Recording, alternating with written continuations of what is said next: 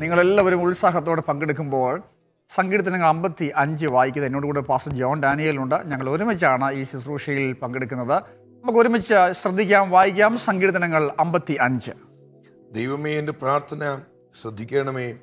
എന്റെ യാചനയ്ക്ക് മറഞ്ഞിരിക്കരുതേ. എനിക്ക് ചെവി തന്ന് ഉത്തരം അരുളണമേ. ശത്രുവിന്റെ ആരവ് നിമിത്തവും ദുഷ്ടന്റെ പീഡ നിമിത്തവും ഞാൻ എന്റെ സങ്കടത്തിൽ പുറതിയില്ലാതെ നിരങ്ങുന്നു. അവർ എന്റെ മേൽ നീതികേട് ചുമത്തുന്നു കോപത്തോടെ എന്നെ ഉപദ്രവിക്കുന്നു. എന്റെ ഹൃദയം എന്റെ ഉള്ളിൽ വേദനപ്പെട്ടിരിക്കുന്നു മരണഭീതിയും എന്റെ മേൽ വീണിരിക്കുന്നു ഭയവും വിറയിലും എന്നെ പിടിച്ചിരിക്കുന്നു പരിഭ്രമം എന്നെ മൂടിയിരിക്കുന്നു. രാവിനുള്ളതുപോലെ എനിക്ക് ചിറകുണ്ടായിരുന്നുവെങ്കിൽ എന്നാൽ ഞാൻ പറന്നുപോയി വിശ്രമിക്കുമായിരുന്നു എന്ന് ഞാൻ പറഞ്ഞു. അതേ ഞാൻ ദൂരത്ത് സഞ്ചരിച്ച് മരുഭൂമിയിൽ പാർക്കുമായിരുന്നു. കൊടുങ്കാറ്റിൽ നിന്നും പെരുങ്കാറ്റിൽ നിന്നും ബന്ധപ്പെട്ട് ഞാനൊരു സംഗീതത്തിലേക്ക് ഓടിപ്പോകുമായിരുന്നു. കർത്താവെ സംഹരിച്ച് അവരുടെ നാവുകളെ ചീന്തിക്കളയണമേ. ഞാൻ നഗരത്തിൽ അതിക്രമവും കലഹവും കണ്ടിരിക്കുന്നു. രാവും പകലും അവർ അതിന്റെ മതിലുകളിന്മേൽ ചുറ്റി സഞ്ചരിക്കുന്നു. നീതികേടും കഷ്ടവും അതിന്റെ അകത്തുണ്ട്. ദുഷ്ടത അതിന്റെ നടുവിലുണ്ട്. ചതിവും വഞ്ചനയും അതിന്റെ വീതികളെ വിട്ടുമാറുന്നതുമില്ല. എന്നെ നിന്ദിച്ചത് ഒരു ശത്രുവല്ല. അങ്ങനെയെങ്കിൽ ഞാൻ സഹിക്കുമായിരുന്നു. എന്റെ നേരെ വമ്പ് പറഞ്ഞത് എന്നെ പകിക്കുന്നവനല്ല. അങ്ങനെയെങ്കിൽ ഞാൻ മറഞ്ഞുകൊള്ളുമായിരുന്നു. നീയോ എന്നോട് സമനായ മനുഷ്യനും എന്റെ സഖിയും എന്റെ പ്രാണ സ്നേഹിതനുമായിരുന്നു നാം തമ്മിൽ മധുര സമ്പർക്കം ചെയ്തു. പുരുഷാരവുമായി ദൈവാലയത്തിലേക്ക് പോയല്ലോ. മരണം പെട്ടെന്ന് അവരെ പിടിക്കട്ടെ. അവർ ജീവനോടെ പാതാളത്തിലേക്ക് ഇറങ്ങട്ടെ. ദുഷ്ടത അവരുടെ വാസസ്ഥലത്തും അവരുടെ ഉള്ളിലുമുണ്ട്. ഞാനോ ദൈവത്തെ വിളിച്ചപേക്ഷിക്കും. യഹോവ എന്നെ രക്ഷിക്കും. ഞാൻ വൈകുന്നേരത്തും കാലത്തും ഉച്ചയ്ക്കും സങ്കടം ബോധിപ്പിച്ച് കരയും. അവൻ എന്റെ പ്രാർത്ഥന കേൾക്കും. എന്നോട് കയർത്തു നിന്നവർ അനേകരായിരിക്കെ. ആരും എന്നോട് അടുക്കാതെ വണ്ണം അവൻ എന്റെ പ്രാണനെ വീണ്ടെടുത്ത് സമാധാനത്തിലാക്കി. ദൈവം കേട്ട് അവർക്ക് ഉത്തരം അരുളും. പുരാതനമേ സിംഹാസനസ്ഥനായവൻ തന്നെ. അവർക്ക് മാനസാന്തരമില്ല. അവർ ദൈവത്തെ ഭയപ്പെടുന്നതുമില്ല. തന്നോട് സമാധാനമായിരിക്കുന്നവരെ കയ്യേറ്റം ചെയ്തു. തന്റെ സഖ്യത അവർ ലംഘിച്ചുമിരിക്കുന്നു. അവന്റെ വായ് വെണ്ണ പോലെ മൃദുവായത് ഹൃദയത്തിലോ യുദ്ധമത്രേ. അവന്റെ വാക്കുകൾ എണ്ണയേക്കാൾ മയമുള്ളവ എങ്കിലും അവ ഊരിയ വാളുകൾ ആയിരുന്നു. നിന്റെ ഭാരം യഹോവയുടെ മേൽ വെച്ചുകൊള്ളുക. അവൻ നിന്നെ പുലർത്തും. നീതിമാൻ കുലുങ്ങിപ്പോകുവാൻ അവൻ ഒരു നാളും സമ്മതിക്കുകയുമില്ല. ദൈവമേ നീ അവരെ നാശത്തിന്റെ കുഴിയിലേക്ക് ഇറക്കും. രക്തപ്രിയവും വഞ്ചനയുമുള്ളവൻ ആയുസിന്റെ പകുതിയോളം ജീവിക്കുകയില്ല. ഞാനോ നിന്നിൽ ആശ്രയിക്കും. ദൈവമേ കേൾക്കണമേ എന്ന് നിലവിളിച്ചുകൊണ്ട് തുടങ്ങി നിന്നിൽ ആശ്രയിക്കും എന്ന ഉറപ്പോടെ അവസാനിക്കുന്ന ഒരു മനോഹര സങ്കീർത്തനമാണ് അമ്പത്തി അഞ്ച് നാം ഈ ദിവസങ്ങളൊക്കെ പഠിക്കുന്ന ഒട്ടുമിക്ക സങ്കീർത്തനങ്ങളും ദാവിദിനാൽ വിരചിതമായ കീർത്തനങ്ങളാണ്. ഈ അമ്പത്തി അഞ്ചാം സങ്കീർത്തനവും ദാവിദിന്റെ ഒരു ദീന രോദനമാണ് അതേസമയം തന്നെ വിശ്വാസത്തിന്റെ പ്രഖ്യാപനങ്ങളുണ്ട്. ദൈവാശ്രയം വെളിപ്പെടുത്തുന്ന ശക്തമായ പ്രസ്താവനകളുണ്ട്. നമുക്ക് ശ്രദ്ധിച്ച് പഠിക്കണം. ഇതിന്റെ പശ്ചാത്തലത്തെക്കുറിച്ച് വ്യത്യസ്ത വീക്ഷണങ്ങളുണ്ട്.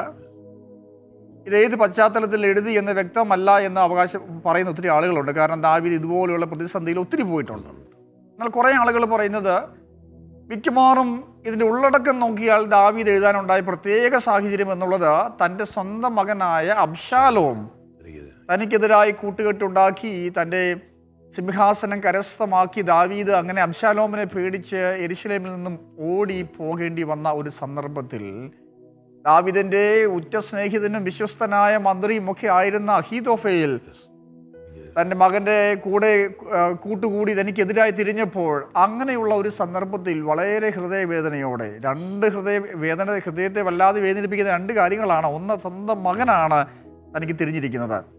മറ്റ് ആരെങ്കിലും ആയിരുന്നെങ്കിൽ യുദ്ധം ചെയ്ത് അവരെ കീഴ്പ്പെടുത്താമായിരുന്നു. ദാവീദ് ഇവിടെ നിസ്സഹായനാണ്. രണ്ട് തന്നോട് കൂടെ ഒരുപക്ഷെ തന്നോട് കൂടെ വളർന്ന തന്നോട് കൂടെ ശുശ്രൂഷയിൽ പരിചരിച്ചു വന്ന തന്റെ വിശ്വസ്തനായ എല്ലാത്തിനും കൂടെ നിന്നിരുന്ന അഹിതോഫയിൽ ഒരു- ഒരുപക്ഷെ ദാവീദിന്റെ ഹൃദയം പോലും അറിയാവുന്ന ഒരു മന്ത്രി. ആ അത്ര വിശ്വസ്ത സ്നേഹിതൻ തന്നെ ഒറ്റുകൊടുത്തു. ഈ ഒരു സന്ദർഭത്തിൽ ഹൃദയം വല്ലാതെ പിടയുമ്പോൾ ദാവീദ് ദൈവത്തോട് നിലവിളിക്കുന്ന ഒരു കീർത്തനമാണിത്. തുടങ്ങുന്നത് രക്ഷിക്കണമേ സഹായിക്കണമേ എന്നുള്ള ഞരക്കങ്ങളോടുകൂടെയാണെങ്കിലും മുൻപോട്ട് പോകുമ്പോൾ കാര്യങ്ങൾ കൂടുതൽ വിശദീകരിക്കുകയും ഒടുവിൽ വരുമ്പോൾ വിശ്വാസത്തോടെ അവസാനിപ്പിക്കുകയും ചെയ്യുക. രണ്ട് ശമുവേലിന്റെ പുസ്തകം പതിനഞ്ച് മുതലുള്ള അധ്യായങ്ങൾ പതിനഞ്ച് മുതൽ പതിനേഴ് വരെയുള്ള അധ്യായങ്ങളാണ് ഈ അബ്ശാലോം തന്നെ ഒറ്റ തനിക്കെതിരായി തിരിഞ്ഞ സന്ദർഭത്തിലാണ് എങ്കിൽ ആ സംഭവങ്ങളെക്കുറിച്ച് വിവരിക്കുന്നത്. പതിനഞ്ച് മുതൽ പതിനേഴ് വരെയുള്ള വാക്യങ്ങളിലാണ്. ഇനി രണ്ട് ശമുവേൽ പതിനഞ്ചിന് മുപ്പത്തി ഒന്നിൽ ദാവീദിന്റെ ഒരു നിലവിളിയുണ്ട്. ദാവീദ് അഹിതോഫയിൽ തനിക്കെതിരായി പോയിരിക്കുന്നു എന്ന് കേട്ടപ്പോൾ മുപ്പത്തൊന്നാം വാക്യത്തിൽ ദാവീദ് പ്രാർത്ഥിക്കുന്നുണ്ട്. ദൈവമേ അഹിതോഫേലിന്റെ ആലോചനയെ അബദ്ധമാക്കണമേ എന്ന് പ്രാർത്ഥിക്കുകയാണ്. ഒരു പക്ഷെങ്കിൽ ആ ഒരു പ്രാർത്ഥനയാണ് അതിന്റെ റിഫ്ലക്ഷൻസും കൂടുതൽ വിശദമായ ഒരു പ്രാർത്ഥനയായിരിക്കാം ഈ സംഗീതത്തിന് അമ്പത്തി അഞ്ച് എന്നുള്ളത്. എന്റെ പ്രധാനപ്പെട്ട പ്രാർത്ഥന അതാണ്. ദൈവമേ അങ്ങ് ഇടപെടണമേ എന്നുള്ളതാണ്. നമുക്ക് നോക്കാം. നമ്മളും നമ്മൾ സങ്കീർത്തനം മനസ്സിലാക്കുക മാത്രമല്ലല്ലോ. നമ്മൾ ഈ പഠിക്കുന്നതിന്റെയും ധ്യാനിക്കുന്നതിന്റെയും പ്രധാനപ്പെട്ട ഉദ്ദേശം അന്ന് ദാവീദിനുണ്ടായത് ആ ഒരു സാഹചര്യമാണെങ്കിൽ ഇന്ന് നമുക്കുണ്ടാകുന്നത് അങ്ങനെ ഒരു സാഹചര്യമല്ലായിരിക്കാം. പക്ഷേ സമാനമായ മറ്റിതര സാഹചര്യങ്ങളാണ്. അപ്പോൾ നമുക്ക് ഇങ്ങനെയുള്ള ഇതിനോട് സമമായ വ്യത്യസ്ത സാഹചര്യങ്ങൾ വരുമ്പോൾ നമ്മൾ അതിനെ എങ്ങനെ തരണം ചെയ്യണം? അതിനുള്ള പാഠങ്ങളാണ് നമ്മൾ പഠിക്കുന്നത്. അപ്പോൾ നമുക്കൊന്ന് ശ്രദ്ധിച്ച് പഠിക്കാം. ഈ സങ്കീർത്തനത്തിൽ നിന്നും ഞങ്ങൾ നിങ്ങളെ ഓർപ്പിക്കുന്നത് ഇതുപോലുള്ള പ്രതിസന്ധികളോട് ഉള്ള നമ്മുടെ നാലുവിധ മനോഭാവങ്ങളെക്കുറിച്ചാണ് അല്ലെങ്കിൽ നാലുവിധ പ്രതികരണങ്ങളെക്കുറിച്ചാണ്. അത് മനസ്സിലാക്കാനായിട്ട് നാല് പോയിന്റുകളായിട്ട് പറയുകയാണ്. അപ്പം നമുക്ക് ഓർത്തിരിക്കാൻ എളുപ്പമാണ്. ഒന്നാമത് നോക്കിയാൽ ലുക്ക് വിതിൻ അവർ ഫീലിങ്സ് അതായത് ഒന്ന് മുതൽ അഞ്ച് വരെയുള്ള വാക്യങ്ങൾ നമ്മൾ കാണുന്നത് ദാവീദ് ദാവീദിന്റെ ഹൃദയത്തിന്റെ അവസ്ഥ ദൈവത്തോട് പറയുന്നതാണ്. തന്റെ ഹൃദയത്തിലൂടെ കടന്നു പോകുന്ന കുറേ ചിന്തകളുണ്ട്. തന്റെ കുറേ ഫീലിങ്സ് ഉണ്ട്. തന്റെ കുറേ തോന്നലുകൾ. അത് തനിക്ക് തന്നെ നിയന്ത്രിക്കാൻ പറ്റാത്തൊരവസ്ഥയിലായി. അത് ദൈവത്തോട് തുറന്നു പറയുകയാണ്. അപ്പോൾ നാം നമ്മിലേക്ക് തന്നെ നമ്മുടെ വേദനകളെ തന്നെ നോക്കുക. അതൊരു യാഥാർത്ഥ്യമാണ്. നമുക്കതിനെ കണ്ണടച്ചും അവഗണിച്ചും കളയാനായിട്ട് പോയി നമ്മൾ മനുഷ്യനാണെങ്കിൽ വികാരങ്ങളുണ്ട്. ചില സമയത്ത് നമുക്ക് തന്നെ നമ്മുടെ വികാരം വികാരം എന്ന് പറയുമ്പോൾ അതിപ്രധാനമായ വികാരമാണ് വേദന നിരാശ സങ്കടം എന്നുള്ളത്. ദാവിദിനെ സംബന്ധിച്ച് സ്വന്തം മകൻ തനിക്കെതിരായി തിരിഞ്ഞത് ഒരിക്കലും പ്രതീക്ഷിച്ചതല്ല. പതിനഞ്ചാം അധ്യായത്തിൽ അവൻ വളരെ കൗശലം ഉപയോഗിച്ച് കൊട്ടാരത്തിന്റെ മുൻപിലിരുന്ന് ആളുകൾ വരുമ്പോൾ അവരോട് സുഖമാണോ എന്നൊക്കെ ചോദിച്ച് അവർക്ക് കെട്ടിപ്പിടിച്ച് ഒരു ചുംബനമൊക്കെ കൊടുത്ത് പിന്നീട് നാല് വർഷം അത് ആവർത്തിച്ച് ഒടുവിൽ ആളുകൾ ഒരു കൂട്ടം ആളുകൾ കൂടെ ഉണ്ടെന്ന് ഉറപ്പുവരുത്തിയപ്പോൾ ദാവിദിൽ നിന്നും പെർമിഷൻ മേടിച്ച് ഹെബ്രോനിൽ എരുശലേമിൽ പോയി ആരാധന കഴിക്കാനാന്നുള്ള നാട്യത്തിൽ പിന്നീട് അവിടെ ചെന്ന് കാഹളമൂതി രാജാവായി പ്രഖ്യാപിക്കുമ്പോൾ ദാവിദ് സ്തംഭനായി പോയി ഞെട്ടിത്തിരിച്ചു പോയി. സ്വന്തം മകൻ അങ്ങനെ ചെയ്തല്ലോ. പിതാവിന്റെ ഹൃദയത്തിലെ വേദനയാണ് ഒന്നാമത്. രണ്ട് ദാവിദിനെ വല്ലാതെ അലട്ടിയത് രണ്ട് ശമ്പുവിൽ പുറകിൽ അധ്യായങ്ങളുണ്ട് പന്ത്രണ്ടാം അധ്യായത്തിലൊക്കെ ഉണ്ട്. ദാവീദ് പാപം ചെയ്ത് ബേർഷബയോട് പാപം ചെയ്ത് കഴിഞ്ഞപ്പോൾ നാദാനിലൂടെ ദൈവം സംസാരിച്ചു. സംസാരിച്ചു കഴിഞ്ഞപ്പോൾ നിന്റെ നിന്റെ സ്വന്തം ഗ്രഹത്തിൽ നിന്നും അനർത്ഥം വിട്ടു മാറുകയില്ല എന്നൊരു മുന്നറിയിപ്പ് കൊടുത്തു. ഒന്നിനു പുറകെ ഒന്നായിട്ട് വരികയാണ്. അപ്പോൾ ദാവിദിനെ വല്ലാതെ വേദനിപ്പിക്കുന്നുണ്ട് ആ ഒരു ദൈവം പറഞ്ഞൊരു കാര്യം. തന്റെ സ്വന്തം ഗ്രഹത്തിൽ തന്നെ വേർതിരിവ് വേർതിരിവുണ്ടായിരിക്കുകയാണ്. മകൻ അപ്പനെതിരായി യുദ്ധം ചെയ്യുന്ന ഒരു സന്ദർഭം വന്നിരിക്കുകയാണ്. പിന്നെ അഹിതോഫേൽ എന്ന ഉറ്റ സ്നേഹിതൻ ചെയ്ത ഉപദ്രവം. ഇതെല്ലാം കൂടെ ദാവീദിന്റെ ഹൃദയത്തെ വല്ലാതെ മതിച്ചു വല്ലാതെ വേദനിപ്പിച്ചു. അപ്പോൾ ദാവീദിന്റെ ചില പ്രയോഗങ്ങൾ ഇവിടെ ഉണ്ട്. എന്റെ സങ്കടത്തിൽ എന്നെ നോക്കണമേ എന്റെ യാചനയ്ക്ക് മറഞ്ഞിരിക്കരുതേ ദൈവം മറിഞ്ഞിരിക്കുമോ എന്നൊരു ഭയം ദാവീദ് സന്ദേഹമുണ്ട്. മറിഞ്ഞിരിക്കരുത് ദൈവമേ. എന്റെ എന്റെ എന്റെ എന്റെ ഉള്ളം എന്റെ ഹൃദയം വേദനപ്പെട്ടിരിക്കുന്നു. മരണഭീതി എന്നെ പിടിച്ചിരിക്കുന്നു. ഭയവും വിറയലും എന്നെ പിടിച്ചിരിക്കുന്നു. പരിഭ്രമം എന്നെ മൂടിയിരിക്കുന്നു. അപ്പോൾ ദാവീദിന്റെ ആ ഹൃദയത്തിലെ വേദനകൾ വെളിവാക്കുന്ന പ്രയോഗങ്ങളാണ് ഇതൊക്കെ. എന്റെ സങ്കടം പിന്നെ പറഞ്ഞു എന്റെ പൊറുതിയില്ലാതെ ഞരങ്ങുന്നു. ഞരങ്ങുന്നു എന്ന് പറഞ്ഞാൽ നമുക്കറിയാം. ഞരക്കം എന്ന് പറഞ്ഞാൽ എന്തു പറയണം? അല്ലെങ്കിൽ വാക്കുകൾ വ്യക്തമായി പറയാൻ അറിയത്തില്ല. ഒരു നിസ്സഹായ അവസ്ഥയാണ് കാണിക്കുന്നത്. സങ്കടത്തിന്റെ ആധിക്യം കൊണ്ട് പറയാൻ വാക്കുകളില്ലാതെ ഹൃദയം ഞരങ്ങുന്ന ഒരവസ്ഥയിൽ ദാവിതെത്തിരിക്കുകയാണ് ഹൃദയം ഉള്ളിൽ പിടയ വേദനപ്പെട്ടിരിക്കുന്നു. പിടയുന്നു. മാത്രമല്ല മരണഭീതിയും കൂടെ വന്നിരിക്കുകയാണ്. മരണഭീതി എന്ന് പറഞ്ഞാൽ മകൻ രാജാവായി. ഇനി പിതാവിനെയും കൂടെയുള്ളവരെയും ഇല്ലാതെ ചെയ്യുമോ? അല്ലെ തനക്കാരൻ കാരണം കൂടെയുള്ള ആളുകളൊക്കെ തിരിഞ്ഞുപോയി. ദാവിദ് ഓടി രക്ഷപ്പെടേണ്ടി വന്നു. അപ്പോൾ മകൻ ഇനി അടുത്തത് എന്താണ് തന്റെ അവിവേകത്തിൽ ചെയ്യാൻ പോകുന്നത് എന്ന ഒരു ശങ്ക മരണഭീതിയുണ്ട് ഭയവും വിറയലും ദാവീദിനെ പോലെ അശക്തനായ ശക്തനായ അഭിഷക്തനും ഇങ്ങനെ ഒരു പ്രയാസം ഉണ്ടായി. ഭയവും വിറ- വിറയലും പിടിച്ച് പേടിച്ച ഒരു സന്ദർഭം. ഇത് ഭക്തന്മാരുടെ ജീവിതത്തിലും സംഭവിക്കാവുന്ന കാര്യമാണ്. അപ്പോൾ ദാവീദ് തന്നെ തന്നെ നോക്കി തന്റെ ഹൃദയത്തിന്റെ അവസ്ഥ ദൈവത്തോട് തുറന്നു. ആരോടായി പറയുന്നേ? ദൈവത്തോട്. പറയാൻ പറ്റിയ സ്ഥലം എവിടാണ്? പ്രാർത്ഥന മുറിയാണ്. പ്രാർത്ഥന പറയാൻ പറ്റിയ വ്യക്തി ആരാണ്? ദൈവമാണ്. എല്ലാം തുറന്ന് പറയാൻ ഒരിടമുണ്ടെങ്കിൽ അത് പ്രാർത്ഥനാ മുറിയാണ്. There should be a war room your prayer room should be your war room നിങ്ങളുടെ പ്രാർത്ഥനാ മുറി നിങ്ങളുടെ യുദ്ധസ്ഥലമായിരിക്കണം. ശത്രുവിനോട് പ്രാർത്ഥനയിൽ പോരാടുന്ന താങ്ങാനാകാത്ത ദുഃഖം ദൈവസന്നിധിയിൽ തുറന്ന് പറയുന്ന ഹൃദയത്തിലെ ചിന്തകളൊക്കെ ദൈവത്തോട് പങ്കുവെക്കുന്ന ഒരിടമായിരിക്കണം പ്രാർത്ഥനാ മുറി. If you want to defeat your enemy and if you want to stand firm you better get on your knees നിങ്ങൾക്ക് ശത്രുവിനെ തോൽപ്പിക്കണമെങ്കിൽ നിങ്ങൾക്ക് പ്രതിസന്ധിയിൽ നേരെ നിവർന്നു നിൽക്കണമെങ്കിൽ നിങ്ങൾ മുറിയിൽ പോയി മുട്ടിന്മേൽ വരികയാണ് ഏറ്റവും നല്ലത്. അപ്പോൾ ദാവീദിന്റെ ഉള്ളിലുള്ള പരിശോധന. സമാനമായ ദൈവമേ മറിഞ്ഞിരിക്കരുത് ഉപേക്ഷിക്കരുത് എന്ന് നിരവധി സങ്കീർത്തനങ്ങളുണ്ട്. പറഞ്ഞു വിട്. പത്താം സങ്കീർത്തനം ഒന്നാം വാക്യം. പതിമൂന്നിന്റെ ഒന്ന് ഇരുപത്തിയേഴിന്റെ ഒമ്പത് നാൽപ്പത്തിനാലിന്റെ ഇരുപത്തിനാല് പത്തൊമ്പതിന്റെ പതിനേഴ് നൂറ്റി നാൽപ്പത്തി മൂന്ന് ഏഴ്. ഈ സങ്കീർത്തനങ്ങളൊക്കെ സമാനമായി ദൈവമേ മറിഞ്ഞിരിക്കരുത് കാണാതിരിക്കരുത് എന്ന് ദാവീദ് പറയുന്നുണ്ട്. നമുക്ക് നോക്കാം മുൻപോട്ട് നോക്കാം. അടുത്തത് we can look beyond our problems for a refuge നമ്മുടെ പ്രശ്നങ്ങൾക്കപ്പുറം ഒരു സങ്കേതത്തിന് വേണ്ടി നമുക്ക് പരുതാം അല്ലെങ്കിൽ അന്വേഷിക്കാം. ദാവീദ് ആറ് എട്ട് വാക്യങ്ങൾ പ്രാവിനുള്ള പോലെ ഒരു ചിറകുണ്ടായിരുന്നെങ്കിൽ ഞാൻ പറന്നുപോയി വിശ്രമിക്കുമായിരുന്നു. അതേ ഞാൻ ദൂരത്ത് സഞ്ചരിച്ച് മരുഭൂമിയിൽ പാർക്കുമായിരുന്നു. ഈ ആ കാലഘട്ടങ്ങൾക്ക് ഇസ്രായേലിൽ ഏതെങ്കിലുമൊക്കെ വലിയ ഒരു പ്രതിസന്ധിയിലൊക്കെ രാജ്യത്തുണ്ടാകുമ്പോൾ പ്രത്യേകിച്ച് ഭരണത്തിലിരിക്കുന്ന ആളുകൾ അവർ ഒന്ന് ഒരു സങ്കേതമായി ആളുകളിൽ നിന്ന് ഒന്ന് രക്ഷപ്പെടാനായിട്ട് മരുഭൂമിയിൽ ഈ ഗുഹകളുള്ള സ്ഥലങ്ങളുണ്ട് ഗുഹകൾ. അവിടെ പോയി ഒളിച്ചു പാർക്കുന്ന കാരണം അവിടെയുള്ള സുരക്ഷിതത്വം. ആരും കണ്ടുപിടിക്കാത്ത സ്ഥലം. അതിന് സമാനമായ ഒരു പ്രാവിനെ പോലെ ചിറകുണ്ടായിരുന്നെങ്കിൽ പ്രാവിന്റെ സ്വഭാവം കൂടെ ദാവീദിനുണ്ട്. ദാവീദ് മകൻ ഉപദ്രവം ചെയ്തിട്ടില്ല. തനിക്ക് നിഷ്കളങ്കതയുണ്ട്. പ്രാവ് നിസ്സഹായയാണ്. അപ്പോൾ ഓടി ഒന്ന് പറന്ന് അകന്നുപോയി എവിടെയെങ്കിലും ഒന്ന് ഒളിച്ചിരിക്കാമായിരുന്നു എന്നൊരു ചിന്തയാണ്. നമുക്ക് വേണ്ടത് ആ ഒരു മനോഭാവം ചിലപ്പോൾ നമുക്കും ഉണ്ടാകാം.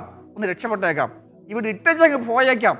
എങ്ങനെയെങ്കിലും ഇവിടെ നിന്ന് മാറി ഒരു സമാധാനം കിട്ടുന്ന സ്ഥലത്തേക്ക് പോയേക്കാം. മാനുഷികമായി ഉണ്ടാകുന്ന ചിന്തയാണ്. അവിടെ ഞങ്ങൾ ഓർപ്പിക്കുന്നത് ഇത് ഭക്തന്മാർക്കെല്ലാം ഉണ്ടായിട്ടുണ്ട്. ഏലിയാവിനുണ്ടായിട്ടുണ്ട്. ഒന്ന് രാജാക്കന്മാർ പത്തൊമ്പതാം അധ്യായത്തിലുണ്ട്. മതി യഹോവേ മതി എന്റെ പ്രാണനെ എടുത്തേക്കണമേ. ആഹാബിന്റെ വെല്ലുവിളി കേട്ടപ്പോൾ ഇസബേലിന്റെ ആ ഭീഷണി കേട്ടപ്പോൾ ചൂരച്ചെടിയുടെ അടി നടുക്കിൽ പോയി ആ ഭക്തനായ ശ്രേഷ്ഠനായ അഭിഷിക്തൻ പ്രാർത്ഥിച്ചു. എരുമിയ പ്രാർത്ഥിച്ചിട്ടുണ്ട്. എരുമിയാവിന് ഒമ്പതാം അധ്യായം രണ്ടിന് മുതൽ മരുഭൂമിയിൽ ഒരു സത്രം കിട്ടിയിരുന്നെങ്കിൽ ചുറ്റുപാടുമുള്ള അനീതിയും അക്രമവും ഒക്കെ കണ്ടപ്പോൾ യെരമ്യാവ് അങ്ങ് വളരെ അസ്വസ്ഥനായി. എരെ- യെരമ്യാവ് പറയുകയാണ് മരുഭൂമിയിൽ ഒരു സത്രം. സത്രം പറഞ്ഞാൽ ഒരു പാർക്കാൻ പറ്റിയ ഒരു ചെറിയ ഹോട്ടൽ പോലെ ഒരു സൗകര്യം കിട്ടിയിരുന്നെങ്കിൽ ഞാൻ അവിടെയെങ്കിലും പോയി ഒളിച്ച് പാർത്തേനെ ഇത് ഭക്തന്മാർക്കെല്ലാം ഉണ്ടായ ചിന്തകളാണ്. എന്നാൽ യശ്യാ പ്രവചനം നാൽപ്പതാം അധ്യായം മുപ്പത്തൊന്ന് മുപ്പത് മുപ്പത്തൊന്ന് വാക്യങ്ങൾ നമ്മളെ ഓർപ്പിക്കുന്നത് നമുക്കുണ്ടാകേണ്ടത് കഴുകനെ പോലെ ചിറകുണ്ടായി പറന്നുയരണം. ആ വാക്യം വായിക്കാം. ബാല്യക്കാർ ക്ഷീണിച്ച് തളർന്നു പോകും. യുവനക്കാർ ഇടറി വീഴുമെങ്കിലും യഹോവയെ കാത്തിരിക്കുന്നവർ ശക്തിയെ പുതുക്കും. അവർ കഴുകന്മാരെ പോലെ ചിറകടിച്ച് കയറും. അവർ തളർന്നു പോകാതെ ഓടുകയും ക്ഷീണിച്ചു പോകാതെ നടക്കുകയും ചെയ്യും. നമുക്ക് പ്രാവിനെ പോലെ പറന്ന് ഓടി ഒളിക്കാതെ കടികനെ പോലെ പറന്നുയരാം. പ്രതിസന്ധികൾക്ക് മുകളിലേക്ക് നമുക്ക് ഉയരാം. നമുക്ക് ആ വചനം നമ്മെ നമ്മെ നമ്മൾ നമ്മെ ശക്തീകരിക്കട്ടെ. ദാവിദ് നാലാം മൂന്നാമത്തെ കാര്യം is looking around his situations മൂന്നാമത്തെ വീക്ഷണം തന്റെ ചുറ്റുപാട് നോക്കുകയാണ്. അഹിതോബേലിനെ നോക്കുകയാണ്. എന്റെ പ്രാണസ്നേഹിതൻ എന്റെ കൂടെ ആരാധനയ്ക്ക് വന്നിരുന്നവൻ എന്റെ കൂടെ ഇരുന്ന് അടുത്ത അടുത്ത അടുത്ത കസേരയിൽ ഇരുന്ന് ഭരണം നടത്തിയവൻ എന്റെ വിശ്വസ്തനായവൻ ഭരണതന്ത്രങ്ങളൊക്കെ അറിയാവുന്നവൻ അവൻ പോലും എന്നെ ചതിച്ചല്ലോ. അപ്പോൾ ഇതെല്ലാം കണ്ട് ചുറ്റുപാടുകളെ നോക്കി അതും ദൈവത്തോട് പറയാണ്. പ്രാർത്ഥിക്കുമ്പോൾ നമ്മൾ കണ്ണുകൾ അടച്ച് ദൈവത്തോട് പ്രാർത്ഥിക്കുമ്പോഴും കണ്ണുകൾ തുറന്ന ചുറ്റുപാടുകൾ കണ്ട് ഈ കാര്യം ദൈവത്തോട് അങ്ങ് പറയണം. സോഷ്യൽ മീഡിയയിലല്ല ഇടേണ്ടത് ദൈവത്തോട് അങ്ങ് പറയണം തുറന്നു പറയണം. ചുറ്റുപാടുകളെക്കുറിച്ച് അവയർനെസ് ഉണ്ടായിരിക്കണം. അത് പ്രാർത്ഥിക്കുന്ന മനുഷ്യന്റെ മറ്റൊരു പ്രത്യേകതയാണ്. ഏറ്റവും പ്രധാനമായ അവസാനത്തെ കാര്യമാണ് we can look up to God നമുക്ക് ദൈവത്തിങ്കിലേക്ക് നോക്കാം. നമ്മിലേക്ക് നോക്കാം പ്രശ്നങ്ങൾക്ക് മുകളിലേക്ക് നോക്കാം ചുറ്റുപാടുകൾ നോക്കാം. അതിപ്രധാനമായി നോക്കേണ്ടത് ദൈവത്തിങ്കിലേക്ക്. ലുക്ക് അപ് ടു ഗാഡ് ഇവിടെ പതിനാറ് തൊട്ട് പത്തൊമ്പത് വരെ വായിക്കുമ്പോഴും ഇരുപത്തിരണ്ട് തൊട്ട് ഇരുപത്തിമൂന്ന് വരെ വായിക്കുമ്പോഴും ഈ രണ്ട് വേദഭാഗങ്ങൾ മുകളിലേക്ക് നോക്കുന്ന ദാവീദിന്റെ പ്രത്യേകതകളാണ്. അവിടെ പതിനാറാം വാക്യത്തിൽ പറയുന്നത് എന്താണ്? ദൈവത്തെ വിളിച്ചപേക്ഷിക്കും യഹോവനെ രക്ഷിക്കും. ഞാൻ വൈകുന്നേരത്തും കാലത്തും ഉച്ചയ്ക്കും സങ്കടം ബോധിപ്പിച്ച കരയും. അവൻ എന്റെ പ്രാർത്ഥന കേൾക്കും. ദാവീദ് പറയുന്നത് ഞാൻ ദൈവത്തെങ്കിലേക്ക് നോക്കും. ദൈവം കേൾക്കും. ദൈവം കേൾക്കാൻ തക്കവണ്ണം ഞാൻ നിരന്തരമായി അപേക്ഷിച്ചു രാവിലെയും ഉച്ചയ്ക്കും വൈകുന്നേരം എപ്പോഴൊക്കെ പ്രാർത്ഥിക്കണം? കഴിയുമ്പോഴൊക്കെയും പ്രാർത്ഥിക്കണം. അതാണ് അതിന്റെ ഏറ്റവും ലളിതമായ അർത്ഥം. ഒടുവിൽ പതിനെ ഇരുപത്തിരണ്ട് ഇരുപത്തി മൂന്നാം വാക്യം പറയുന്നത് ഭാരം. ഭാരം യഹോവെങ്കിൽ ഇറക്കി വെക്കും. യഹോവ എന്റെ ഭാരം എടുത്തു നീക്കി എന്നെ പുലർത്തി സുരക്ഷിതമായി നയിക്കും. ഒന്ന് പത്രോ അഞ്ചാം അധ്യായത്തിൽ നാം വായിക്കുന്ന എന്റെ ഭാരം യഹോയുടെ മേൽ ഇട്ടുകൊള്ളുക അവിടെ ഇറക്കി വെക്കുക. താങ്ങാനാകാത്ത വേദനയും ഞരക്കവും മരണഭീതിയും പരിഭ്രമവും വിറയലും പിടിച്ചപ്പോൾ പ്രാണസ്നേഹിതൻ ഒറ്റ കൊടുത്തപ്പോൾ ദാവീദ് അവസാനം ഇങ്ങനെ അവസാനിപ്പിക്കുകയാണ്. ഞാൻ യഹോവയെങ്കിലേക്ക് നോക്കും. അവൻ എന്റെ സങ്കടം കേൾക്കും. കഴിഞ്ഞ കാലങ്ങളിൽ ഇതിന് സമാനമായി പ്രതിസന്ധിയെ ഞാൻ മറികടന്നത് ഉയരത്തിലേക്ക് നോക്കിയതുകൊണ്ടാണ്. ഈ പ്രഭാതത്തിലും ദൈവം നമ്മളെ ഓർപ്പിക്കുന്നത് നിങ്ങൾക്ക് കൈകാര്യം ചെയ്യാൻ പറ്റാത്ത പ്രതിസന്ധിയാണെങ്കിൽ അവിശ്വസ്തരായ സ്നേഹിതർ നിങ്ങളെ വഞ്ചിച്ചതിന്റെ വേദന നിങ്ങളെ വല്ലാതെ അലട്ടുന്നുണ്ടെങ്കിൽ കുടുംബത്തിൽ തന്നെ പ്രിയപ്പെട്ടവർ നിങ്ങൾക്കെതിരായി തിരിഞ്ഞ് നിങ്ങൾക്ക് ഒന്നും ചെയ്യാൻ പറ്റാത്ത നിസ്സഹായ അവസ്ഥയിലാണെങ്കിൽ നിങ്ങളുടെ നിസ്സഹായ അവസ്ഥയിൽ നിങ്ങളുടെ പരിഭ്രമത്തിൽ ഉള്ളിലെ ഞരക്കുമായി ദൈവത്തെങ്കിലേക്ക് വരിക. സങ്കടം കേൾക്കുന്ന ഭാരമെടുത്ത് മാറ്റുവാൻ കഴിയുന്ന ആശ്വസിപ്പിക്കാൻ കഴിയുന്ന വഴിയില്ലാതെടുത്ത് വഴി തുറക്കുവാൻ കഴിയുന്ന മരുഭൂമിയിലും നിർജന പ്രദേശത്തും പുതിയ വഴികൾ തുറക്കുവാൻ കഴിയുന്ന വളഞ്ഞത് ചൊവ്വായതാക്കാൻ നേരെയാക്കാൻ കഴിയുന്ന കർത്താവിന്റെ കരങ്ങളിൽ നമ്മെ സമർപ്പിക്കാം. നാല് വീക്ഷണങ്ങളാണ്. ഒന്ന് നമുക്ക് നമ്മിലേക്ക് നോക്കാം. രണ്ട് നമുക്ക് പ്രശ്നത്തിന് അപ്പുറത്തേക്ക് നോക്കാം. മൂന്ന് നമ്മുടെ ചുറ്റുപാടുകൾ നോക്കാം. നാല് ഏറ്റവും അതിപ്രധാനമായി എല്ലാം ഉള്ളപ്പോൾ ദൈവത്തെങ്കിലേക്ക് നോക്കാൻ മറക്കാതിരിക്കാം. ഈ പ്രഭാതത്തിൽ കുട്ടികൾ മടക്കാം. ദൈവത്തെങ്കിലേക്ക് നോക്കാം. സ്വർഗീയ പിതാവ് അങ്ങ് ഞങ്ങളുടെ സങ്കേതവും ശരണവും ഏറ്റവും ഉറപ്പുള്ള പാറയും ഞങ്ങളുടെ ഗോപുരവുമാണ്. ഈ പ്രഭാതത്തിൽ ഞങ്ങൾ അങ്ങ് ഞങ്ങളുടെ സങ്കടം അറിയുന്നു ഞങ്ങളുടെ പ്രാർത്ഥന കേൾക്കുന്നു എന്ന ഉറപ്പോടെ ഞങ്ങളുടെ ഭാരങ്ങൾ അങ്ങയുടെ പാതപീഠത്തിൽ ഇറക്കി വെക്കുകയാണ്. ഞങ്ങൾക്ക് താങ്ങാനാകാത്ത നിസ്സഹായ അവസ്ഥയിൽ ഞങ്ങളുടെ പരിഭ്രമത്തിൽ ഞങ്ങളുടെ ഉള്ളിലെ ഞരക്കങ്ങളിൽ ഞങ്ങൾ അങ്ങയുടെ അടുക്കൽ വരികയാണ്. രാവിലെയും ഉച്ചയ്ക്കും വൈകിട്ടും ദാവീദ് സങ്കടം സങ്കടം ബോധി ബോധിപ്പിച്ച് നിലവിളിച്ചതുപോലെ നിലവിളിക്കുവാൻ ഞങ്ങളെ പഠിപ്പിക്കണമേ പ്രാപ്തരാക്കണമേ. അങ്ങ് ഞങ്ങളുടെ ഭാരം നീക്കണമേ ഞങ്ങളെ കരുതണമേ. ഈ ഉറപ്പോടെ ഈ ധൈര്യത്തോടെ ഈ പകലിനെ നേരിടുവാൻ ഞങ്ങളെ സഹായിക്കണമേ. കർത്താവെ തൃക്കരങ്ങൾ സമർപ്പിക്കുന്നു യേശുവിൻ നാമത്തിൽ തന്നെ.